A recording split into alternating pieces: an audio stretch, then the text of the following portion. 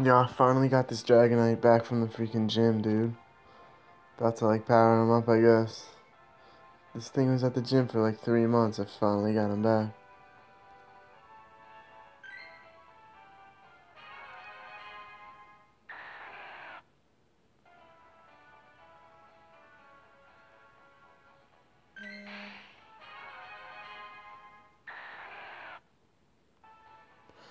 Damn, he's a beast.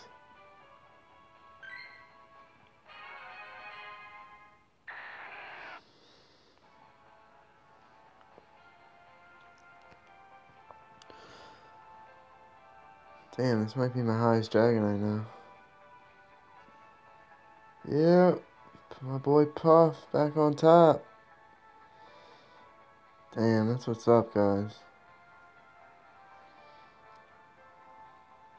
I'm hyped. I still got this other Dragonite I could power up, but I think I want to save my candies for another Dragonite evolution.